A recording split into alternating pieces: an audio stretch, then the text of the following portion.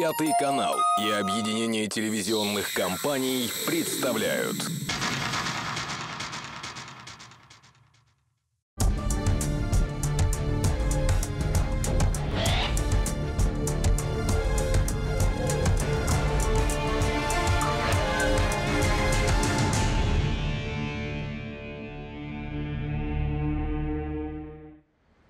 А я тебе говорю, что Тузика нашего Лизка твоя отравила. Что вы несете, а? Да Лиза мухи не обидит. Мы сами регулярно вашего тузика подкармливали. Вот именно. И я сама видела, как она ему в миску какое-то варево вылила. Он поел, заскулил, а вскоре околел. Ваш пес вечно в помойках рылся. Вот там мог какую-нибудь гадость сожрать. Я вам повторяю, ни я, ни Лиза к кончине вашего любимого тузика не имеем никакого отношения. Да ты-то, может быть, и не имеешь. А вот Лизка точно имеет. И вообще, Павел, ты бы понаблюдал за ней. Ведь при такой теще у Лизки, как у матери, может быть, крыша потихоньку того... Хватит! Знаете что? Еще раз мне гадость про Лизу скажете, я не посмотрю, что вы женщина, честное слово.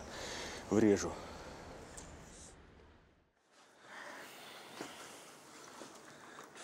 Привет. Привет. О, какой аромат. Иди скорей. Тут черный чай с кусочками клубники.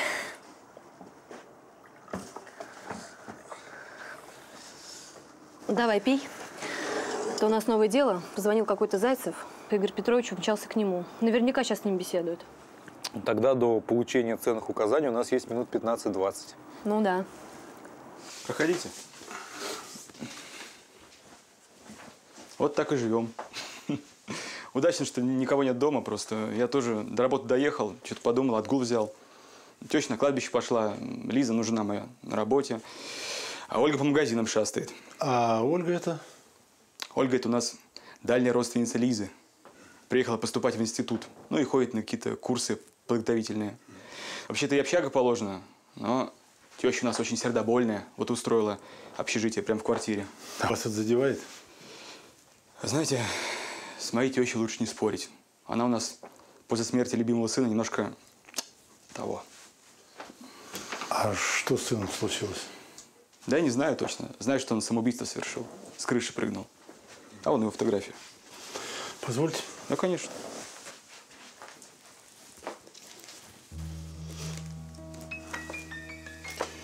Теперь Лиза единственная дочь у вашей тещи?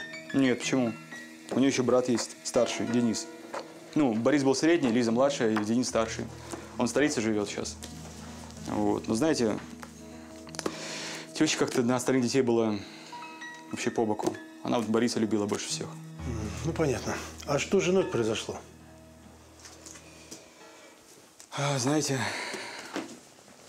какая-то странная стала. Плачет все время, скандалы устраивает. Мои фотографии рассматривает старые. Ну, просто мне брат привез фото- фотографии, ну, альбом целый. Вот она их смотрит. Раньше домоседкой была, а теперь, не знаю, как будто, не знаю, выталкивает что-то из дома.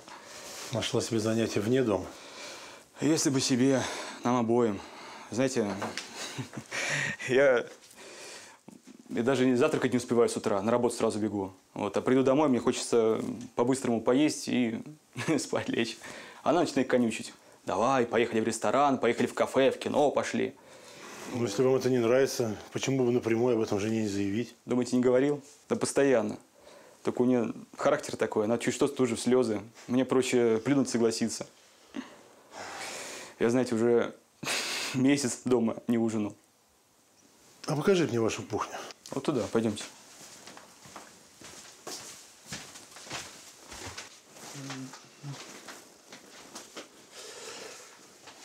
Ну, давайте уточним про скандал с соседкой. Что это был за пес? Тузик? Да так, знаете, такой собачий интеллигентный бомж. Я весь подъезд подкармливал. И я ему тоже кости носил, и Лиза, и Оля, все. А вот если чисто теоретически, могла быть Лиза последней, кто покормил животное? Мне кажется, это была Ольга. Просто они со спины немножко похожи, соседка могла перепутать. А Лиза в тот день была в парикмахерской на работе. Вы это точно помните? Ну, конечно. Понимаете, мы накануне сильно повздорили с Лизой. Ну, я просто настоял на своем, никуда не пошел. Ну и Лиза назло мне тарелку с борщом об пол шваркнула. Ничего себе. Так и остался голодным. Я себе новую налил. Лиза вроде тоже успокоилась. И тут приперлись Ольга с тещей посмотреть на бесплатное шоу. Ну так, слово за слово. Я плюнул и ушел с кухни. Так и остался голодным. Скажите, а давно с вашей женой начались эти странности? Ну, смотрите, три недели назад мы отметили с Лизой годовщину свадьбы. Потом приехала Ольга. Но вот тогда и начался этот форменный дурдом. Как подменили Лизу.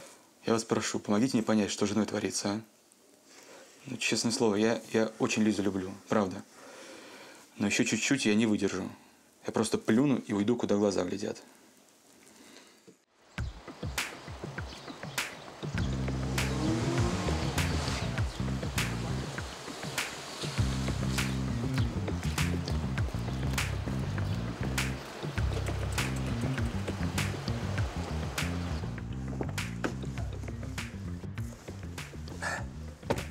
Ну что, быстро мы домчались? Прям как ураганы. Ладно. Расчехляй аппаратуру. Я там камеру установил и в комнате, и в кухне. А тебе, Егор, будет персональное задание. Всегда готов? Здесь во дворе обретается Тамара Антоновна Бойко. Вот нужно ее разыскать и выяснить, что она думает о семье нашего клиента. Понял, уже иду. Ну что, сигнал хороший. И комната, и кухня, все как на ладони. Ой, кажется, кто-то пришел. Вовремя я оттуда свалил. Давай посмотрим. Привет. А ты не на работе? Знаешь, решил отгул взять. Отдохну немножко. Тоже верно. А чего ты в сухомятку маешься? Давай я тебе ухи сварю. Как раз отличный кусок семги прикупила на рынке. М, спасибо, не надо. Я уже он бутерброд сделал. Ну да. Ты, наверное, по домашней еде уже соскучился. Вы же с Лиской чуть ли не каждый день то по кафе, то по ресторанам ходите. Знаешь, где эти рестораны мне уже? Вот тут вот. Вот как на духу скажу. Честно, не понимаю я Лиску. У нее такой муж золотой, такая голова светлая, такие руки золотые. А она ему нервы трепет. Вот была б я твоей женой, я бы тебе такую вкуснятину готовила. Но ты не Лиза. Но не переживай. Всякий может ошибиться. Думаешь, что человека хорошо знаешь, а на поверку из него всякая дрянь лезет. Держись. Если что, всегда можешь на меня рассчитывать. Спасибо, Оля. Ты ведь знаешь, что у меня прабабка ведьмой была. И у меня есть ее частица дара. Я такие вещи хорошо чувствую. Ты о чем? Ну, я про истинную суть людей. Ладно. Это очень интересно. А я, наверное, пойду отдохну. О нет. Опять повернутая на магии девица попалась. Ты заметила, как она беззастенчиво клеила нашего клиента? Ну а что? Мужик он видный, при деньгах. А провинциальной девице не очень-то хочется возвращаться обратно в общагу. А тут есть шанс в любовнице набиться. Глядишь, он ей квартиру с ним. А жену развести тоже вариант. Тогда вообще ей все достанется. Ну, кстати, поведение жены мне тоже понятно. Она просто его ревнует. Ни на минуту не хочет оставлять своего благоверного наедине с этой жужлицей. Ну, а разбитая тарелка борща? Ну, не знаю, может быть, она приворота боится. Ольга ведь открыто хвалится своей ведьмой-прабабкой. Неплохо бы, конечно, взглянуть на эту Лизу. Понять, насколько она адекватна. Ну да. Ладно, подождем, пока придет на обед. К детективам обратился Павел Зайцев. Его жену Лизу обвиняют в том, что она отравила дворнягу. Павел отвергает обвинение, но вынужден признать, что с Лизой творится что-то странное. Она под любыми предлогами пытается увести его из дома. Детективы выяснили, что с Павлом кокетничает дальняя родственница его жены Ольга. Вон у нас давеча Лиска Зайцева Тузика отравила. Просто так. А почему? А все потому, что наследственность дурная. Это как это? Да там у них мамаша на всю голову шибанутая. Вот дочурка вся в нее пошла. А братец ее средний, тот вообще руки на себя наложил. Из-за чего? Да влюбился в бабу, которая старше его, а ты его бросила. Он таблеток наглотался, вены себе перерезал и с крыши сиганул, чтоб наверняка. Об этом даже газет писали. Ну ничего себе. Наследственность дурная. Правда, Денис кто у них, старший сын. Он вроде нормальным мужиком вырос. В столице живет. Знаете, я иногда думаю, приехал бы он сюда и приструнил бы своих идиоток. Мне ж Тузик-то до слез жалко.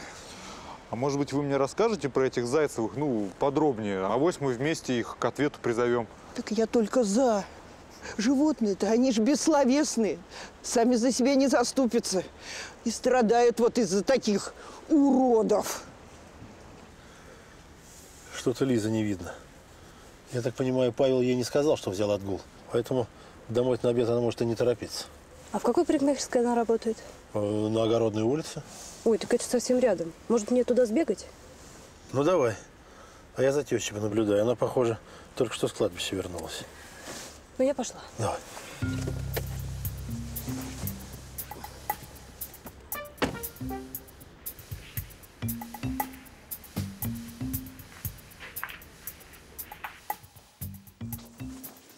Ой, тетя Лена, вы вернулись. А я нам всем уху варю. Чувствуете, какой запах? Должно получиться объедение. Это ты хорошо придумала. Приготовишь, зови. Пообедаем по-семейному. Умничка. Да ерунда какая. Ладно, пойду посмотрю, чтоб не выкипело ничего.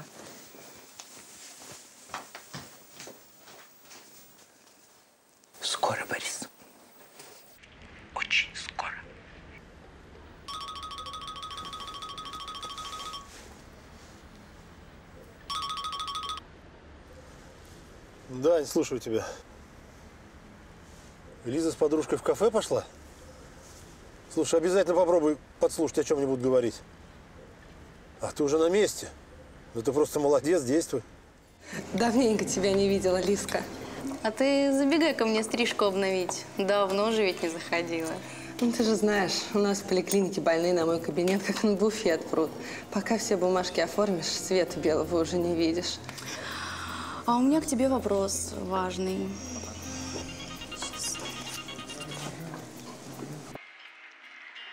Да. Да, Денис, это я звонила. Забираю скорее. Слушай, ситуация выходит из-под контроля. Если Павел... В общем, ты меня понял. Это мой брат, он сейчас в командировке. Ну, так, что там у тебя приключилось-то? А, вот, а, посмотри, здесь нет ничего опасного. Стандартный набор при сердечно-сосудистой дистонии. Это твоей матушке прописали? Пусть пьет смело. А животное ими тоже нельзя отравить? Ох, что ты темнишь ты, Лиска. Нет, это по факту активные добавки. Ну, можно сказать, БАДы. Но и нанести ими травмы, несовместимые с жизнью, можно только набив этими лекарствами какой-нибудь контейнер и сбросить его с большой высоты на бедолагу. Значит, это не оно. Лиза, а что, у тебя что-то с мамой? Ну, ты только скажи, я же неплохой профессионал. Если сама не смогу помочь советом, найду того, кто сможет это сделать. Нет, нет, все нормально. Просто новые лекарства выписали. Вот ей волнуюсь. Ну, чтобы все хорошо было.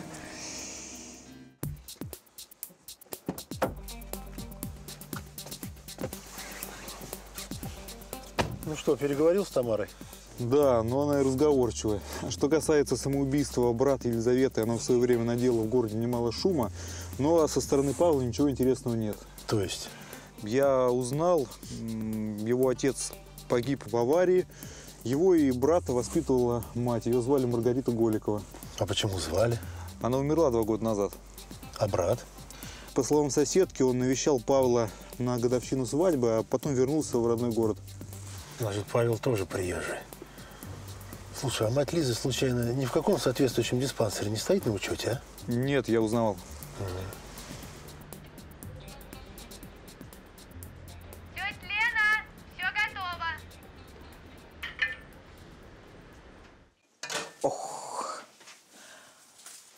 В детстве такую уху мы называли янтарной. Ну, я же старалась. Пойду Павлу позову. Он супчики любит.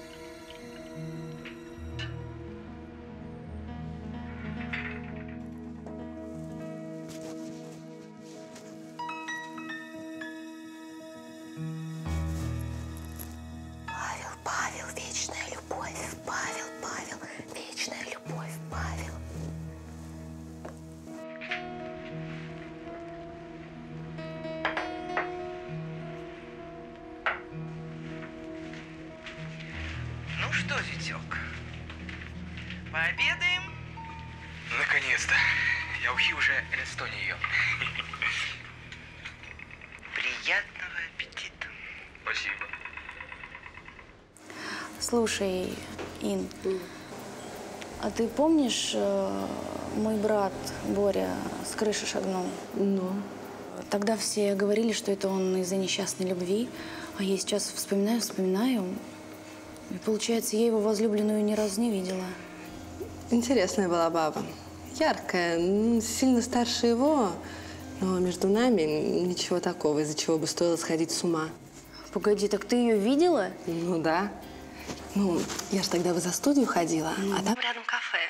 Ну вот около него я их и засекла случайно. А ты бы смогла ее узнать? Да не вопрос. Ты же знаешь, у меня на лица память отличная. Слушай, у тебя найдется еще минут 20. Я буквально одна нога здесь, другая там. Мне тебе нужно кое-что показать. Ну, у меня полчаса в запасе, но не минуты больше. Ну, так что, если я тебя не дождусь, извини, как-нибудь в следующий раз. Договорил? Я успею, вот увидишь. Просто подожди.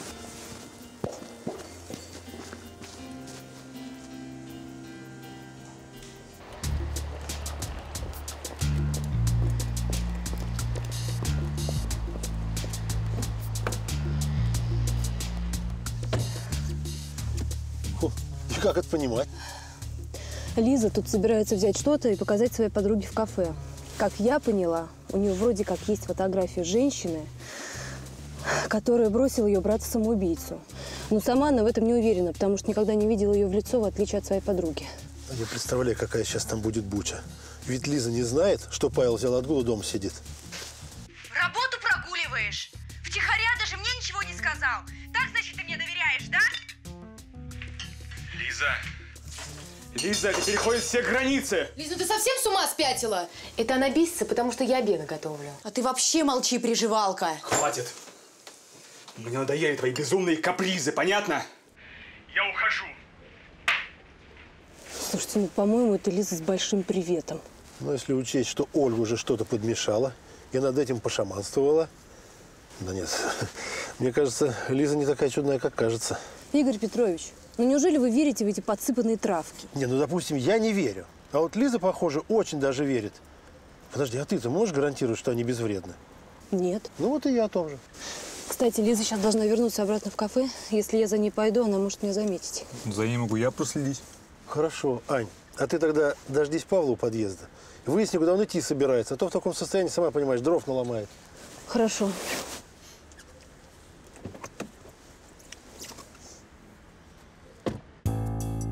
Детективам обратился Павел Зайцев. С его женой творится что-то странное. Лиза под любыми предлогами избегает семейных обедов и ужинов.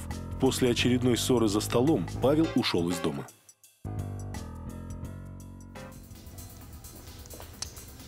У меня осталось ровно две минуты. Ну, извини, у меня дома такое творится, даже говорить не хочется. Вот, посмотри, здесь случайно нет этой женщины? Нет, нет, здесь нет. Какой забавный бутуз. Чем-то на твоего мужа похож. Смотри дальше. А, нет. Опа, погоди-ка, вот эта дама очень похожа. Только здесь она сильно моложе, чем тогда. А вот здесь, что скажешь? Это она. Ты знаешь эту женщину? Нет. Но кое-что начинаю понимать. Инна, спасибо тебе за консультацию. Ты меня очень выручила, даже больше спасла. Лиза, я решительно не понимаю, что там у тебя творится, но пообещай мне не делать глупостей. Ну вот за это можешь вообще не беспокоиться. Пойдем.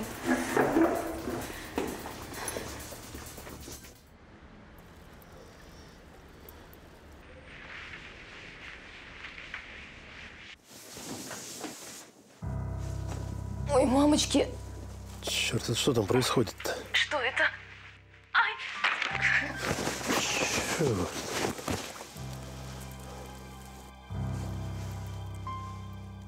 Алло, скорая? Вызов примите, пожалуйста. Похоже на острое пищевое отравление. Адрес? Записывайте адрес.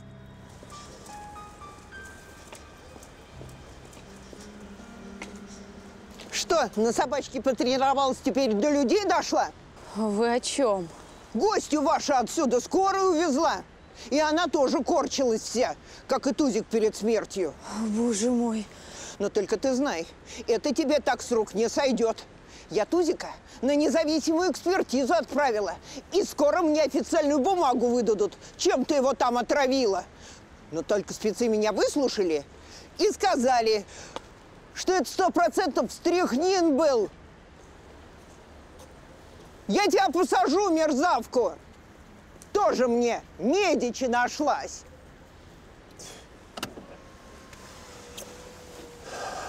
Да, похоже, развязка близка. Мне интересно, как вы объяснили им свое появление в квартире? Ну как, сказал, что сосед снизу, что они меня заливают. Да, врачи сказали, что мы очень вовремя, еще чуть-чуть и кранты. А где Павел? Со слов Ани, Павел уехал к приятелю. А мне кажется, я все понял. Сейчас мы посмотрим последний акт этой безумной пьесы, и сразу будет ясно, прав я или не прав. Где ты это прячешь? Где? А?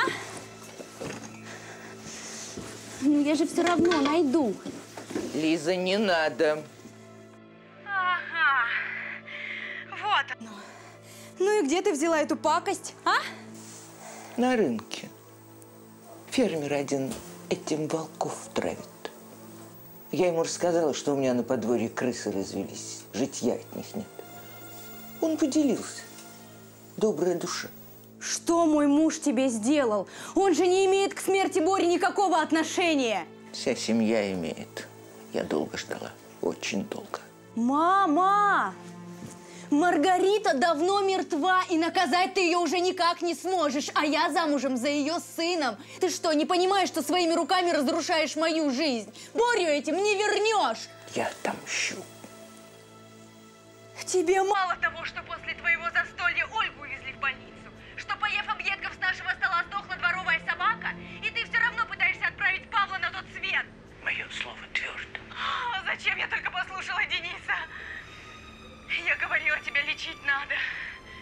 Ты опасна, а он?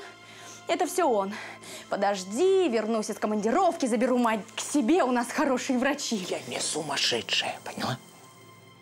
Да, ты просто убийца. Сколько раз я тебя ловила над Пашиной тарелкой. Но я-то думала, ты свои лекарства ему пытаешься подсыпать, а ты решила его как крысу стряхнином отравить. Я делала то, что должна.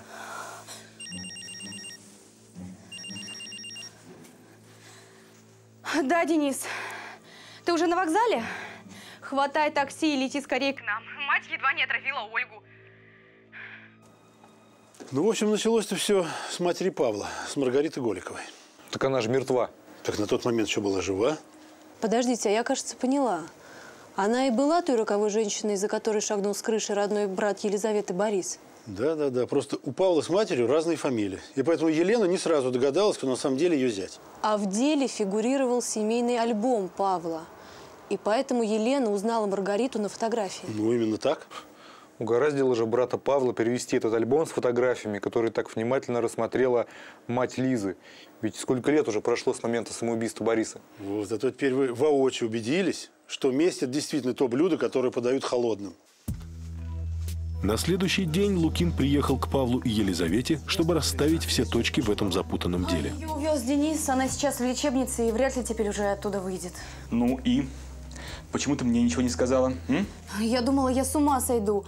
А мать на кладбище зачастила, потом тебя пыталась отравить. Я позвонила Денису, он как раз в командировке за границей был. Он сказал потерпеть немного, сказал, что приедет и заберет мать отсюда.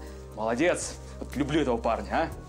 Мы тут под Богом ходим, а он по командировкам разъезжает. Прекрати, она нам мать. Мы боялись, что ее в психушку заберут, а у нас тут не самая лучшая лечебница. Вот поэтому я тебя всякими правдами и неправдами и уводила от семейного стола. Кстати, а почему пострадала Ольга, а не я? Я ведь тоже из этого супчика змеиного пол тарелки съел. И ничего, а ее в больницу увезли. Просто Ольга тарелки поменяла.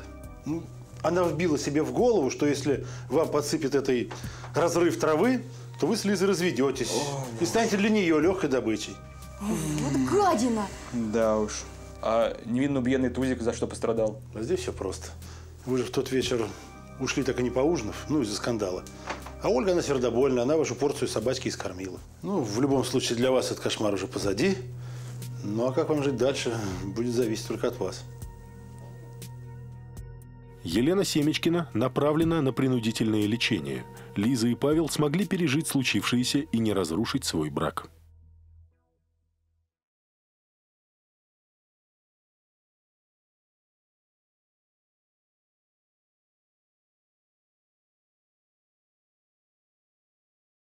Пятый канал и объединение телевизионных компаний представляют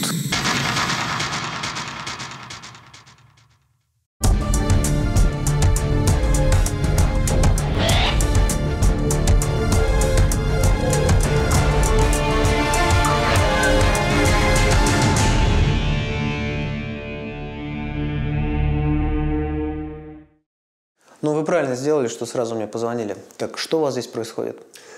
На днях один пациент пожаловался мне, что кто-то рылся в карманах его пальто. Ничего не пропало, но ключи были вытащены из бумажника, где он их обычно хранит. Так, может быть, этот другой пациент забрался ему в бумажник? Нет, я специально проверил записи за тот день. Он тут был один. Следующий за ним клиент опоздал почти на полчаса. Ну да, тогда получается только обслуживающий персонал, больше некому. Вот именно. Но об этом я даже боюсь подумать. Ну, а может быть, вы рано сейчас бьете тревогу? Может быть, ваш пациент что-то перепутал? Ну, сам вещи переложил, а потом просто забыл. Нет, есть еще кое-что. Недавно я стал замечать, что кто-то хозяйничает в моем кабинете в мое отсутствие. В шкафу стали появляться какие-то странные вещи. Мусор, комки глины, перья. В общем, какая-то чертовщина. Вы не спросили у своего обслуживающего персонала, что они думают по этому поводу? Да нет, я у Браза просто выбросил это куда подальше. Видите ли, Мария мой администратор. Мы знакомы с ней более семи лет. Настю я взял на работу полгода назад, но тоже успел как-то привязаться. Так, они влюблены ли вы часом в нее? Видите ли, я просто не могу поверить, что это их рук дело. Но клинику я поднимал с нуля, и мне очень дорогая репутация. А можно взглянуть на шкаф, где все это происходит? Конечно.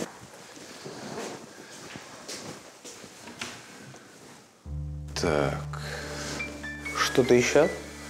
Моя коллекция пропала. Коллекция 32. А что это за коллекция?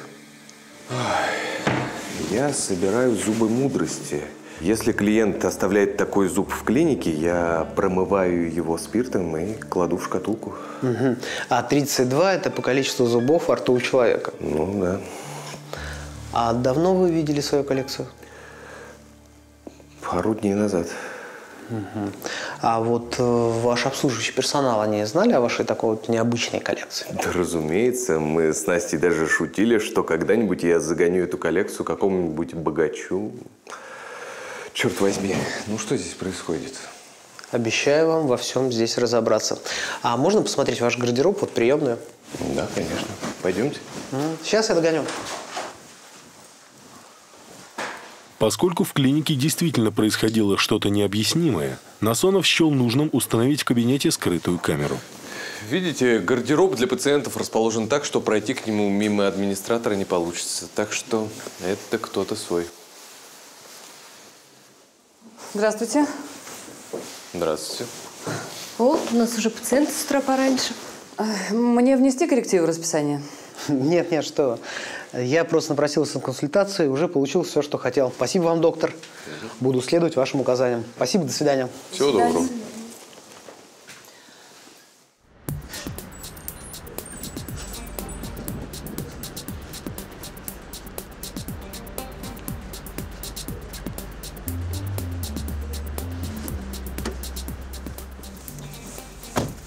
Посмотри, есть картинка?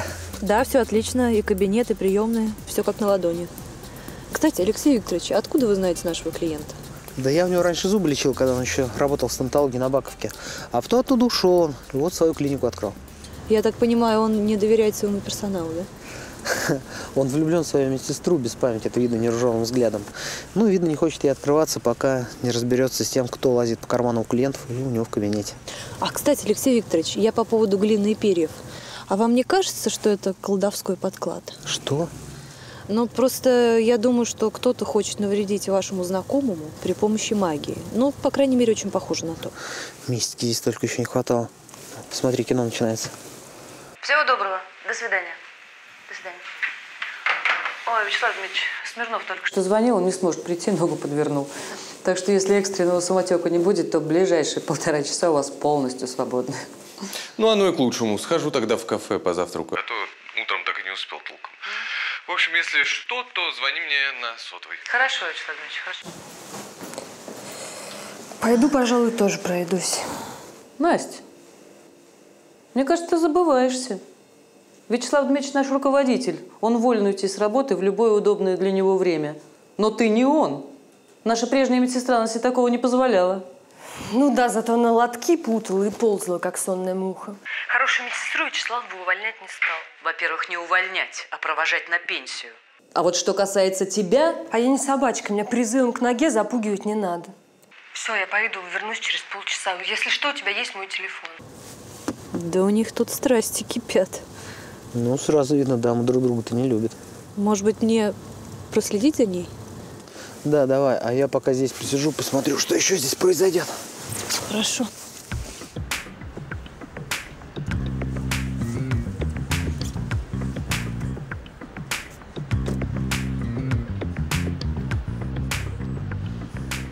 Я тебе сколько раз говорила, чтобы ты здесь больше не Говорил, появлялся. говорил, что стенку ухожу. горох. Выметайся отсюда, быстро. Что ты орешь на меня, а? Я тебе не ору. Вон отсюда, я сказала, тут Все, приличные все, люди. ухожу, ухожу. Всё! Все, ухожу, успокойся. Научитесь сначала, наберу тут кого непонятно кого. Ну, Мария, Ты меня просто поражаешь. Ты что так разошлась-то? Да, я этот контингент отлично знаю.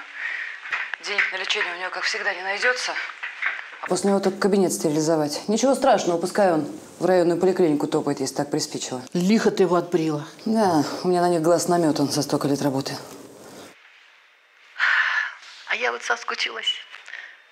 Пришла посмотреть, как вы тут без меня живете. Вот тортик чаю принесла. Не сидится тебе на пенсии-то, да? Слушай, ты неотвратимо, как налоговая. Каждую неделю ходишь. Изви, изви, я к тебе привыкла. Вячеслав, ты, небось, уже с пациентом занимается, да? Да нет, в кафе завтракает. Ха, И эта стрекоза следом умилась. Настя-то, она мне сразу не понравилась. Та еще вертихвостка. Носится туда-сюда, только пыль поднимает. Ну уж какая наглая, так я тебе передать не могу.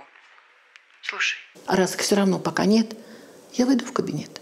Вот честное слово, снится он мне. Хоть глазком бы на него глянуть. Ну иди. Что с тобой сделаешь? Мария, спасибо тебе огромнейшее.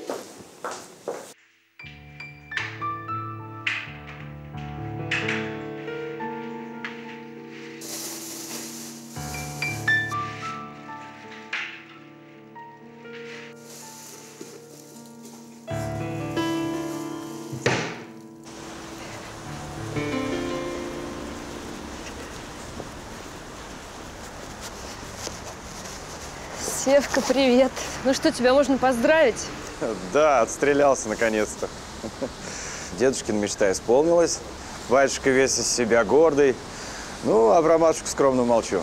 Сев, а можешь мне отдать то, что я тебе давала? Просто вещь не моя, хочется уже побыстрее обратно вернуть. Я так и понял. Держи. Спасибо тебе большое. Без твоей помощи я бы не выступил так эффектно. Да ладно, всегда пожалуйста. А как дела у Славки? Он тебе еще предложение руки и сердца не сделал. Ты его предупреди. Пока он раздумывает и ведет себя какой-нибудь горячий парень. Вот вечно ты меня в краску вгоняешь. Лучше расскажи мне, как Ритка. Положили на сохранение. Через два месяца у меня появится племянник. Эх, девки, что же вы так быстро растете? Вчера вас еще за косички тягал, а теперь собственными руками замуж выдаю. Дань, фотографию получил. Значит, говоришь, она у него забрала нечто, что ей надо срочно вернуть. И Вячеслав этот товарищ знает. Ага, все, я понял тебя.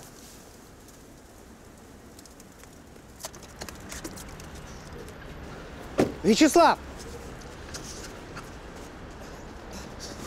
Посмотрите, пожалуйста, вы вот этого товарища знаете? Да, это Севка Левитин, мой друг-стоматолог. Мы с ним вместе когда-то начинали. Ага. А не он ли вам порекомендовал взять на работу Настю? Он. Это, кажется, одноклассница его младшей сестры. Он ее с детства знает. Я как раз искал себе помощницу порасторопнее, чтобы Любу заменить. А что? Да нет, ничего. Если вдруг что-то произойдет, вы мне сразу звоните, я буду рядом. Спасибо. К детективам обратился Вячеслав Щеглов, владелец собственной клиники. Он переживает, что кто-то лазит по карманам одежды пациентов, а из личного шкафа Щеглова пропала коллекция зубов мудрости. Кроме этого, в кабинет Вячеслава кто-то регулярно подбрасывает странные предметы. Подозрение падает на недавно нанятую на работу медсестру Настю. Тем временем Данила искал информацию о Левитине на медицинских форумах.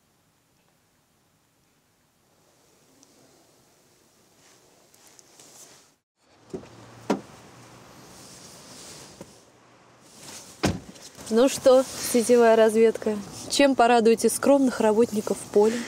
В общем, человек, с которым встречалась Настя, это Всеволод Левитин, он стоматолог. И не дали, как позавчера, он защитил диссертацию.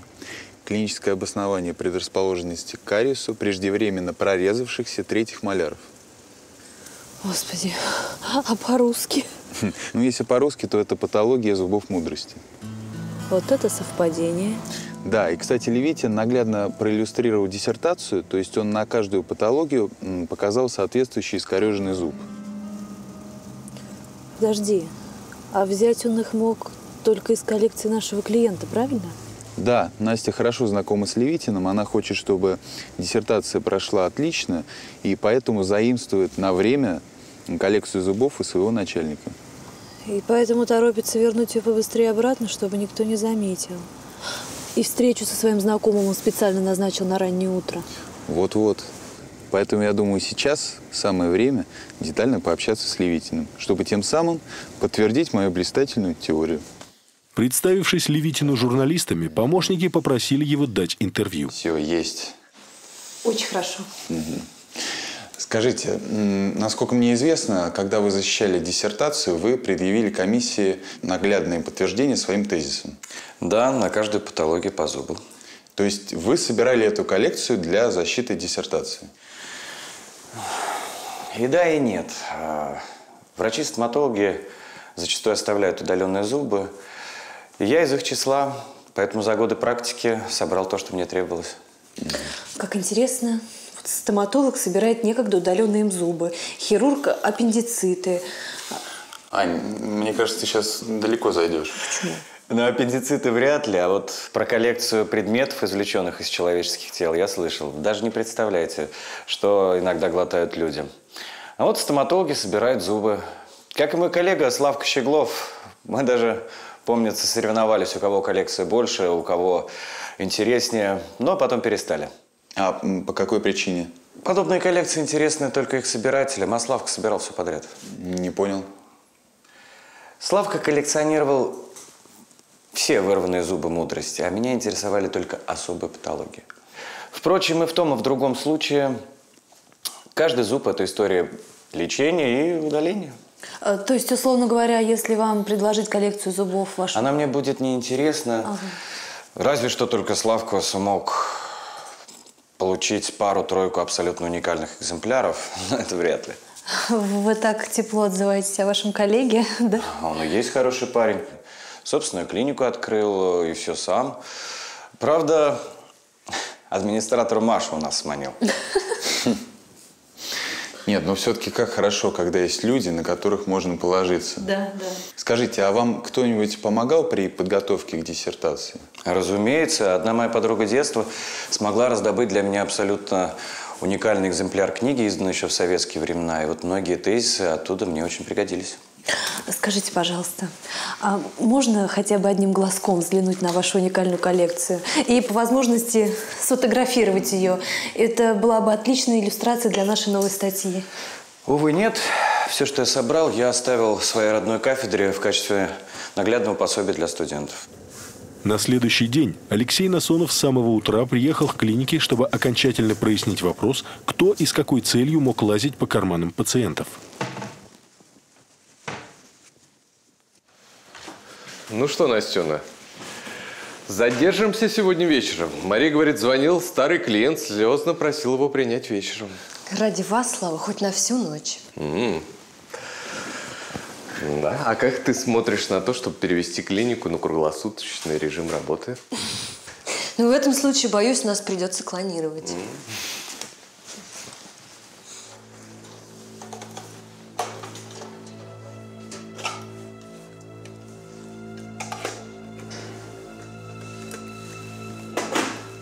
Что-то случилось? Нет, нет, Настя, ты тогда здесь на хозяйстве, я отойду на 10 минут.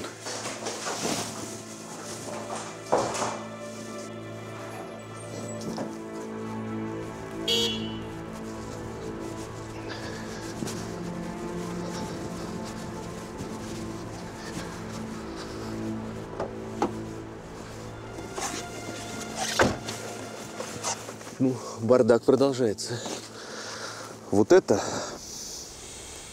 сегодня утром я обнаружил в шкафу, пока ходил в кафе. Вместе с прочим мусором, который я уже выкинул. Почему же сразу мне ничего не сказали? Ну, не буду же я вас беспокоить по каждому пустяку, как когда мой кабинет оказывается неприбранным. Но это сейчас не важно. Есть кое-что более непонятное. Шкатулка вновь в шкафу. То есть ваша коллекция снова вернулась к вам? Не совсем. Там от силы треть. Остальное пропало. А пропали наверняка, ну, самые ценные экземпляры. Я правильно понимаю? Да нет. Парочка наиболее интересных экземпляров как раз на месте, насколько я успел заметить. Это точно кто-то из своих. Клиентов сегодня было только двое, и за ними я наблюдал от и до, так что они тут ни при чем. Знаете что? А не могли бы вы под каким-то предлогом вызвать сюда в клинику, ну, вот вашу бывшую медсестру Любу? Могу. А зачем? Подождите, это еще не все. А на время ее визита куда-нибудь отослать э, Настю и Марию. Ну, они просто меня уже видели, могут вопросы возникнуть. Хорошо. Здрасте, Вячеслав Дмитриевич. Прилетела, как только смогла. Любовь Егоровна, может, объясните нам сейчас, зачем вы с помощью так называемой магии вредите своему бывшему начальнику? Да вы что такое говорите? Да как у вас язык-то повернулся такое сказать? Ну, действительно, ну, при чем тут магия? Перья, глина. Вот сегодня вы уже третий раз подложили всю эту ерунду сюда в шкаф. Кажется, это называется подклад. Так объясните, почему вы сживаете сосвету своего бывшего шефа? Да я не Вячеслава Дмитриевича. Я эту вертихвостку Настю отсюда выпроваживаю. Люба, ну зачем? Обратно на работу хочу. Нет моих сил больше на пенсии сидеть. Здесь ведь и с людьми пообщаться, и зарплата хорошая. Ну, это уж чересчур. Значит так, Люба, в последние полтора года я и так терпел вас исключительно из благотворительности. Знал, как трудно найти работу в вашем возрасте. А вы же говорили, что я хорошая медсестра. Вы стали делать слишком много ошибок и ушли на заслуженный отдых. Да как же так? Ну я же не то, что это Мария Задавака. Она постоянно твердит, что ушла сюда с хорошего места, с крутого ради вас. А я... С Марией я поговорю отдельно. А вы забудьте, пожалуйста, сюда дорогу навсегда.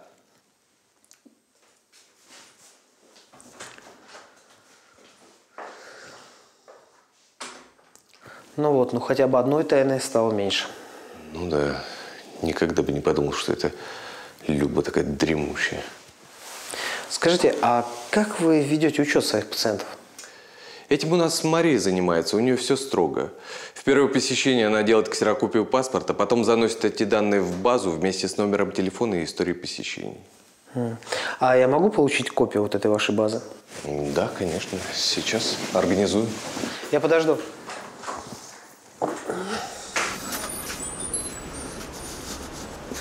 Держи, Ань. Здесь база данных по клиентам клиники. Надо будет их всех проверить на предмет криминального прошлого. Кто-то же лазит у пациентов по карманам. Хорошо. Алексей Викторович, только что звонил Даня, сказал, что Левитин действительно отдал коллекцию зубов родной кафедре. Но я не знаю, может быть, с помощью Насти он все-таки позаимствовал какую-то часть у Вячеслава. Подожди, но Вячеслав сказал, что самые ценные экземпляры зооколлекции как раз вернулись. А если следовать твоей версии, то Левитин бы забрал именно их бы. Ну, тогда тупик. Ну да, похоже, что тупик. Да, кстати, ты была права насчет этих колдовских подкладов, так что в конце месяца с меня премия. Правда, спасибо. Вячеслав Щеглов, владелец собственной клиники, переживает, что кто-то лазит по карманам одежды пациентов. Также у него частично пропала его коллекция зубов мудрости. Под подозрением находится администратор Мария и медсестра Настя.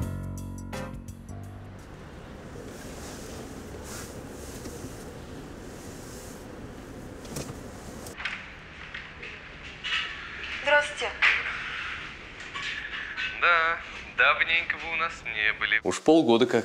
Ой, у меня такое творилось, мне не до зубов было. Представляете, пока я на работе была, у меня квартиру обнесли. Варье проклятое. Да вы что? Да, прям эпидемия какая-то. Помните Зою Алюшину? Ну, это ваша старая пациентка, которая вас когда-то мне и порекомендовала. Ну да, конечно.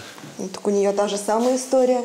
Она за порог, возвращается, а в квартире все вверх дном. Все накопления, все драгоценности. Как корова языком слезала. Ничего себе. Насонов решил позвонить знакомому следователю прокуратуры. Алло, Виктор Григорьевич, приветствую тебя. Слушай, а ты сейчас там очень сильно занят, а?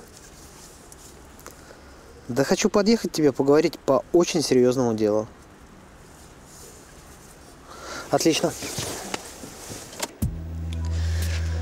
Алексей Викторович, я эту клиентуру уже вдоль и поперек проверила. Ну, нет среди них уголовников. Они все абсолютно обычные люди. Ну тогда посмотри, нет ли совпадения с этим списком. А что это? Это список адресов, где были квартирные кражи за последние 2-3 месяца. Я специально за этим списком ездил к Григорьевичу. Так, подождите. Вот этот адрес точно был. И этот совпадает. Ну вот видишь, это не может быть простым совпадением. Теперь понятно, что не просто так лазили по карманам пациентов. Кто-то искал ключи и делал с них слепки. Во всех случаях квартиры были скрыты аккуратно, замки не сломаны. А адреса жертв ворам сообщали прямо из клиники. Ну да, вот теперь приходим к неутешительным выводам, что либо Мария, либо Анастасия являются в этом деле наводчицами. Мария это сделать проще, она сама себе хозяйка. А Настя? Как раз волна краж началась тогда, когда она устроилась на работу. Ну, насколько я за ней наблюдал, она во время лечения выходит из кабинета где-то на 2-3 на три минуты. Но за это время можно много успеть. Я, я только не понимаю, при чем тут пропавшая и вновь возникшая коллекция зубов? Я пока не знаю, но это точно как-то между собой связано. Ну, что будем делать? Ну, попробуем спровоцировать эту компанию. Этим займется Данила, он уже готовится. А я? А тебе надо будет еще кое-что проверить. Смотри. Да нет, вы не поняли. За срочность я переплачу. Просто меня уже в клубе ждут, там тусовка намечается на всю ночь. Зуб болит. Я понимаю. Давайте паспорт, я запишу вас на завтра. На завтра? Да. Слушайте, а сегодня никак? Просто завтра родители возвращаются из жарких стран. Мы в ресторан пойдем, отмечать будем. Ну, как-то не до этого будет. Ну, в принципе, прямо сейчас у нас есть небольшое окошко. Просто предыдущего пациента мы уже отпустили, а следующий только через полчаса. Но это если Вячеслав Дмитриевич не будет против. Тогда, конечно. Давайте паспорт. Ну и отлично. Дама, ну вы меня реально спасаете. Вы тогда проходите, раздевайтесь, я предупрежу врача. Хорошо.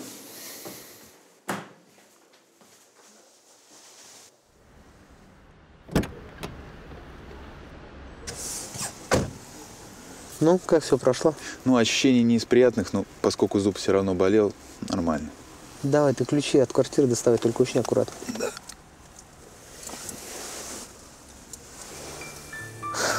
Ну все, клюнули. Смотри, видишь следы пластилина? Угу. Будем снимать отпечатки? Конечно. А пока пойдем приготовим кое-кому встречу. Если бы вы знали, каких усилий мне стоило уговорить родителей остаться сегодня вечером у тетки.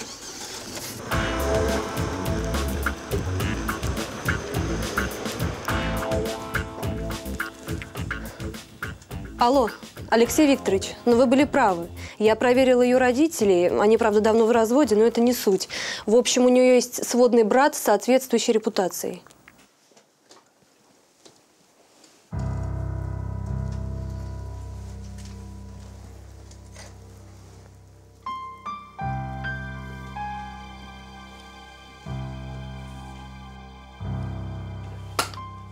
Тихо стоять. Ну что, Толик, опять на нары захотел?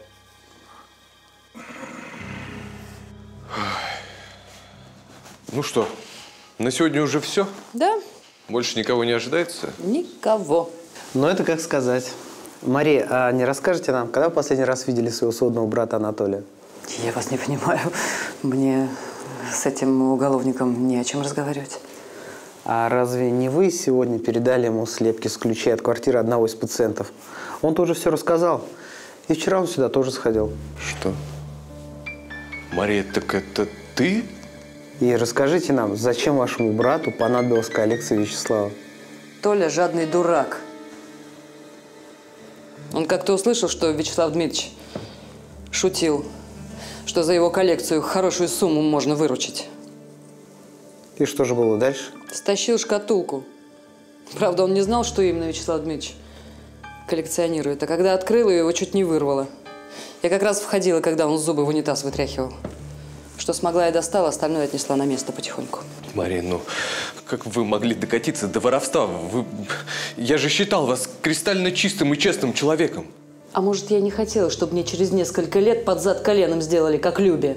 Вы меня, когда сюда работать приглашали, каким соловьем вы пели? Я и подумала, глупая, что вы собираетесь меня полноправным партнером сделать. Ну, знаете, этого я вам никогда не предлагал. Ну, тогда с паршивой овцы хоть шерсть теклок. Если бы не Толькина жадность.